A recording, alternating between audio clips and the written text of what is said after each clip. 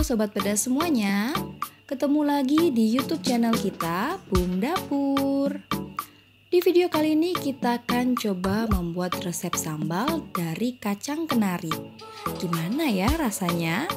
Yang penasaran bagaimana cara bikinnya dan apa aja bahan-bahannya? Yuk simak video ini sampai selesai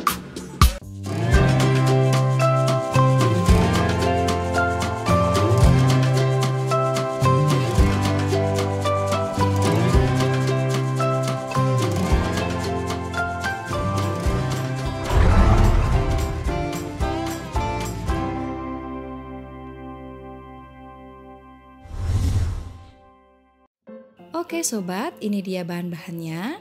Untuk lebih lengkapnya bisa dilihat di deskripsi box di bawah video ini ya. Oke, pertama kita siapkan dulu kompornya. Di sini saya pakai kacang kenari ya. Ini kacang kenarinya sekitar 50 gram aja. Di sini akan saya sangrai terlebih dahulu ya sobat ya untuk kacang kenarinya. Kita sangrai menggunakan api kecil saja ya sobat ya agar tidak gosong. Kalau gosong mungkin rasanya agak sedikit pahit ya. Kita sangrai saja sampai berubah warna ya. Kita aduk-aduk seperti ini, dibolak-balik seperti ini ya sobat ya, agar tidak gosong ya.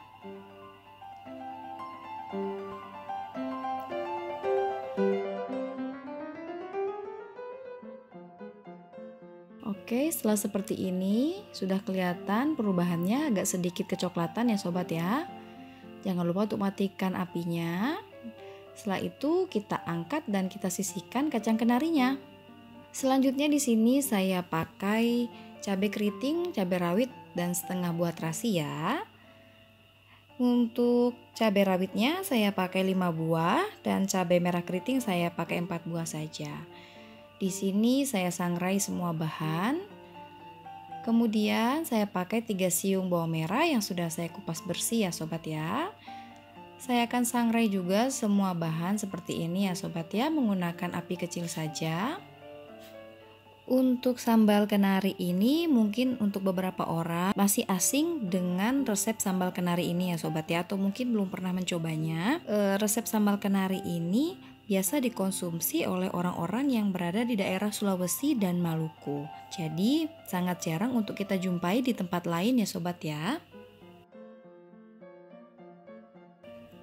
Oke, untuk bahannya kita sangrai seperti ini. Sudah berubah warna.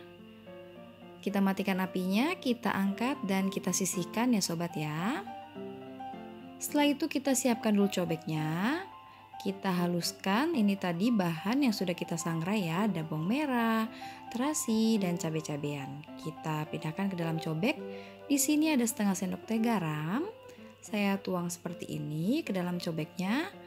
Kemudian saya pakai setengah sendok teh penyedap rasa ya.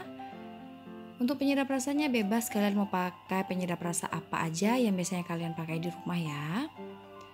Di sini akan saya haluskan atau saya akan ulek semua bahan sampai tercampur rata ya, sampai halus ya. Untuk sobat pedas di rumah, kalau kalian mau pakai blender ataupun food processor yang ada di rumah kalian, terserah kalian bagaimana cara mengolahnya. Di sini saya akan pakai cobek biar teksturnya uh, sesuai yang saya inginkan ya agak sedikit kasar ya sobat ya.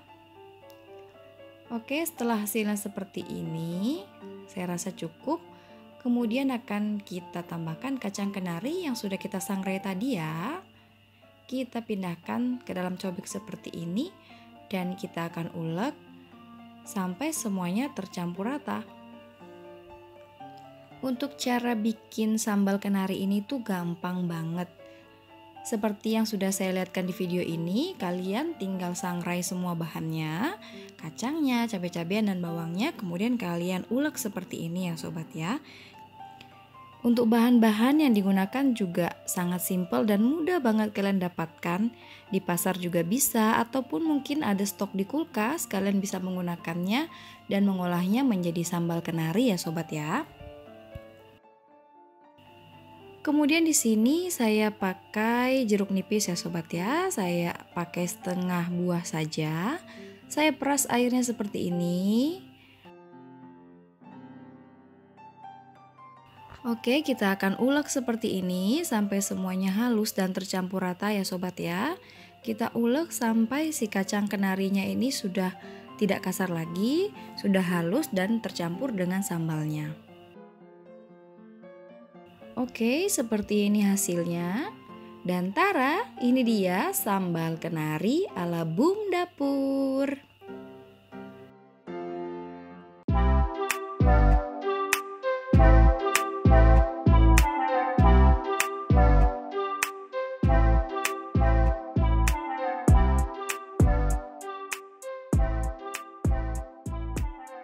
Oke, sobat pedas semuanya, di sini sudah saya siapkan ayam goreng dan nasi yang masih hangat ya sobat ya.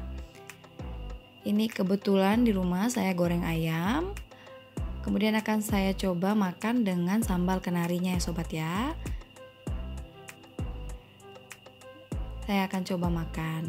Mari silakan mencoba. Untuk mencoba resep sambal kenari ini, sobat pedas semua yang ada di rumah nggak perlu pergi jauh-jauh lagi ke Maluku ataupun Sulawesi. Kalian cukup lihat video dari Bum Dapur, kalian ikut resepnya dan kalian coba praktekkan di rumah ya. Terima kasih yang sudah menonton video kita sampai selesai. Jangan lupa untuk like, komen, dan subscribe. Sampai bertemu di video berikutnya. Terima kasih.